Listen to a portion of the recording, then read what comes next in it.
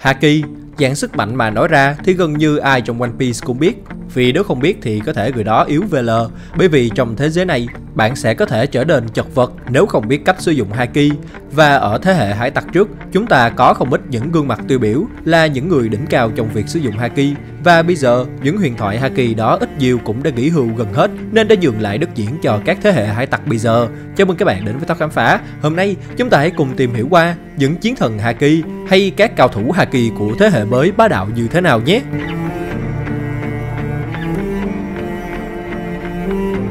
Luffy. Đúng là ở thời điểm hiện tại thì Luffy đã thông thạo cho mình cả ba loại Haki rồi. Haki quan sát, Haki bá vương và Haki vũ trang và không chỉ có vậy, cậu còn có thể sử dụng cả ba ở dạng cấp cao, có thể nhìn thấy được tương lai, tấn công đối phương mà không cần tiếp xúc hay công kích chúng từ bên trong bằng Haki vũ trang. Để mà nói thì quả không hổ danh là học trò của Rayleigh, chỉ trong một thời gian ngắn, Luffy đã có thể lĩnh hội được tất cả những khả năng đặc biệt mà Rayleigh đã truyền dạy lại cho cậu. Tất nhiên là có cả sự giúp sức của những người thầy khác nữa thì Luffy mới có thể phát triển được như thế này. Tuy nhiên, nếu nghĩ rằng đây chính là đỉnh cao sức mạnh của Luffy thì mình lại không nghĩ như vậy. Vì thế giới rất rộng lớn, chỉ biết sử dụng những loại Haki cấp cao chứ không có nghĩa là Luffy đã trở thành người sử dụng Haki mạnh nhất hay là bậc thầy Haki.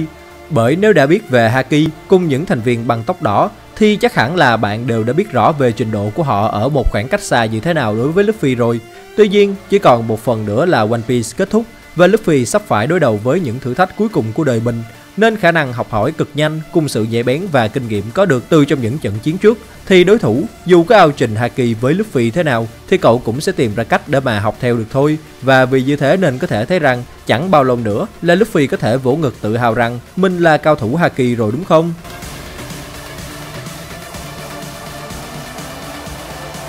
Zoro Mặc dù chỉ mới sử dụng được Haki bá vương trong phần Wano, nhưng Zoro thực sự là một trong những gương mặt rất sáng giá nếu như phải chọn ra những cao thủ dùng Haki đang tồn tại trong thế hệ mới này. Bởi lẽ chúng ta đều biết rằng mong muốn của Zoro chính là có thể trở thành kiếm sĩ đệ nhất và đưa Luffy lên làm vua hải tặc. Đệ nhất kiếm sĩ là tất nhiên kiếm phải vượt qua được Mihawk, thậm chí là vượt qua được cả tứ hoàng sang thì mới trở thành đệ nhất kiếm sĩ được. Mà với những người xem One Piece đã lâu thì đều biết Haki của hai ông thần này mạnh tới mức nào nên nếu chỉ cần muốn trở thành đệ nhất kiếm sĩ mà không phải là cao thủ Haki thì coi bộ chuyện đó không thể nào mà xảy ra được. Lúc trước thì đúng là rất khó khăn để Zoro có thể sử dụng được Haki bá vương, thậm chí là Haki vũ trang cấp cao, chúng ta cũng không được biết là ông thần bản đồ này có biết cách sử dụng hay không nữa. Tuy nhiên bây giờ thì Zoro đã có bạn đồng hành mới cho mình, đó là Enma, và nhờ có sức mạnh của nó mà Zoro có thể giải phóng được sức mạnh của mình ra bên ngoài như thế đây. Vì thế cho nên, mặc dù chỉ mới biết cách sử dụng gần đây, nhưng Zoro hoàn toàn có thể phát triển Haki bá vương của mình thêm nếu cứ tiếp tục sử dụng Enma một cách thoải mái và phóng khoáng như thế. Thậm chí là Haki bá vương cấp cao cũng có thể chỉ là mũi đốt đối với Zoro sau này khi anh trở thành đệ nhất kiếm sĩ cho mà xem.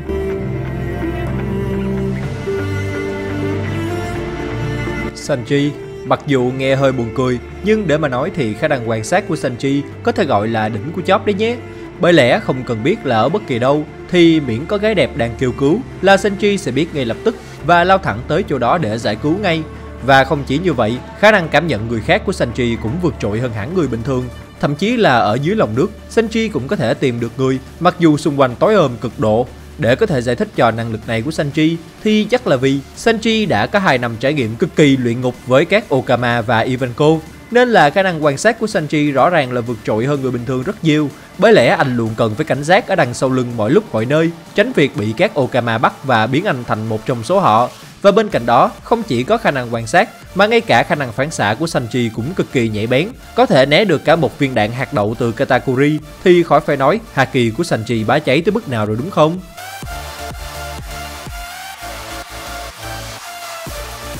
Usopp Đúng là Oda đã bảo rằng Usopp chính là thành viên yếu đuối nhất trong bằng mũ rơm, luôn luôn là như thế. Nhưng có một chi tiết rất đáng để lưu tâm chính là Haki quan sát của anh. Như đã biết tại Dressrosa, Usopp đã cho người xem thấy được rằng bản thân mặc dù là một người rất yếu kém so với những thành viên khác, nhưng thực sự mà nói thì Usopp đã phát triển hơn lúc trước rất nhiều và kỹ năng thiện xạ cùng sự tập trung của anh chàng đúng là không thể nào bàn cãi được gì nữa. Một khả năng tập trung đỉnh cao khiến Usopp có thể mở khóa được Haki quan sát của mình và cứu lấy Luffy mặc dù bản thân đang ở cách cậu hơn cái trăm mét. Bên cạnh đó, chúng ta được biết rằng Yasop, cha của cậu là một cao thủ sử dụng Haki quan sát và khả năng quan sát của ông từ trước tới giờ, đặc biệt ở chỗ là không giống một ai, một khả năng Haki quan sát hoàn toàn riêng biệt và chưa từng có từ trước tới giờ, nhưng nó lại khiến cho Gia Súp trở thành một xạ thủ cừ khôi và đem về cho băng tóc đỏ thêm nhiều sự e ngại khi có Gia Súp trong băng. Vậy nên mặc dù không biết là Haki có di truyền hay không, nhưng rõ ràng là tài thiện xạ thì có, và biết đâu với tài thiện xạ bẩm sinh được truyền lại từ cha của mình,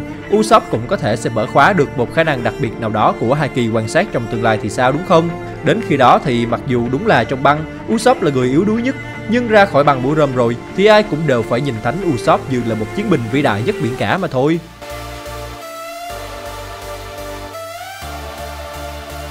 Kobe Có lẽ nhiều bạn sẽ đánh giá Kobe rất thấp, nhưng đừng quên là Kobe trước đây đã từng được gáp luyện tập và hiện tại là một cấp tình đầy tiềm năng của phe hải quân. Mặc dù lúc đầu gặp mặt thì trông cậu khá yếu đuối và thậm chí là còn vô hại nữa, nhưng hiện giờ với sức chiến đấu cực kỳ đáng nể, thậm chí còn được cử đi để truy bắt nữ hoàng hải tặc thì tất nhiên là khả năng của Kobe không thể nào chỉ nhìn bề ngoài của cậu mà phán xét được rồi. Chúng ta đều biết rằng Kobe có thể sử dụng haki vũ trang và cậu chơi hoàn toàn bằng tay không và sức người chứ không có gì gọi là trá quỷ hay vũ khí cả. Nên nếu dùng tay không mà có thể bắt được những kẻ đáng sợ thì chắc chắn Kobe phải có cho mình khả năng sử dụng haki cấp cao chứ. Chứ không thì đi bắt mấy khứa dùng Logia có khi bị hành ngược lại chứ có bắt được ai đâu. Cơ mà Kobe từ đầu đã được Oda xây dựng là một hải quân, cày chay phát triển lên từ từ nên khả năng cao là sau này chúng ta sẽ được gặp một gáp 2.0 đấm vỡ mặt mọi hải tặc luôn đấy.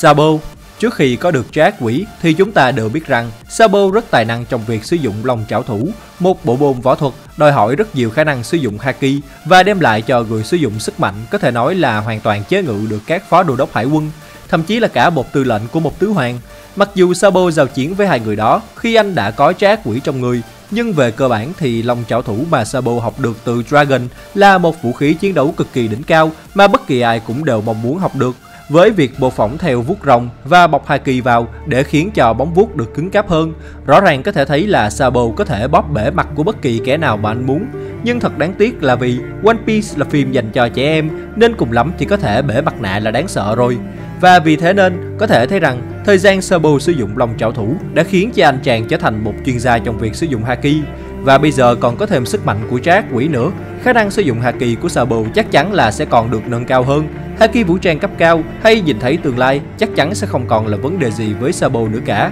Nhưng để mà nói thì chúng ta vẫn chưa được thấy toàn cảnh trận chiến hết sức của Sabo. Có khi là anh hai của Luffy đã sử dụng được thành thục các loại haki cấp cao mà chúng ta không được biết đấy.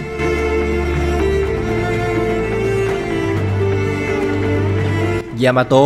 chúng ta đều thấy rằng Kaido đáng sợ và hùng mạnh như thế nào nhờ vào haki vũ trang của ổng, thậm chí là cả haki bá vương và haki quan sát. Và như mình đã nói lúc nãy thì không biết liệu haki có di truyền được hay không. Nhưng Yamato thành thực mà nói thì cũng là một chiến thần hùng mạnh không kém cạnh gì cha mình đâu. Ít nhất thì nếu Kaido là 10, Yamato chắc cũng phải 7 hoặc 8 điểm gì đó mới được. Và vì thế, nếu cô được Luffy đồng ý cho gia nhập vào băng, thì băng mũ rơm đã mạnh lại càng trở nên mạnh hơn nữa chiến thần lan, sói băng, công chúa quỷ, sở hữu cả ba loại haki, tất nhiên là Yamato đều có thể dễ dàng sử dụng chúng. Chỉ là vì thời gian ở qua đồ quốc quá lâu nên tận 20 năm cô nàng mới hơi bị thiếu kiến thức trầm trọng so với người ở ngoài thôi. Cơ mà dù bị giam cầm như thế, nhưng trong 20 năm đó, Yamato cũng tự học cho mình khả năng chiến đấu và sử dụng các loại haki, nên có thể thấy rằng bản thân của cô nàng học hỏi rất là nhanh. Và nếu như Luffy cho phép Yamato cùng tham gia với mình trên chuyến hành trình vượt biển, thì có lẽ là Yamato sẽ học được nhiều thứ hơn và thậm chí là còn mạnh hơn cả lúc trước. Dù gì thì cô cũng là một người có sức mạnh từ một trái Zoan thần thoại, nên cơ bản sức khỏe của Yamato đã vượt trội hơn người bình thường rồi. Bây giờ cô nàng chỉ cần vận dụng toàn bộ trí óc của mình để có thể làm chủ được nguồn sức mạnh đó, thì trên thế giới này không ai có thể khiến Yamato lùi bước được nữa đâu.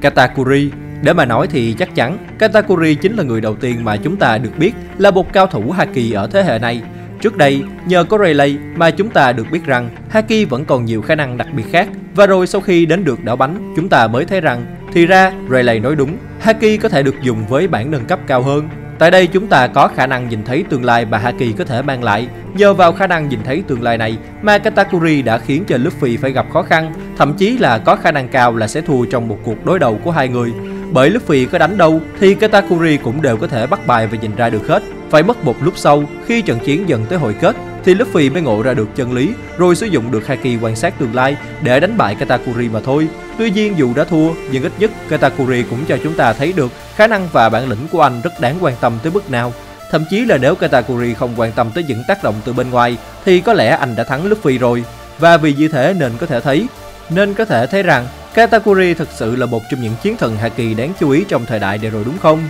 Nhưng bị cái là vì chí xịn mỗi phần Haki quan sát nên nếu phải đối đầu với Sang, anh sẽ phải gặp khó khăn trắc trở rất nhiều mà thôi.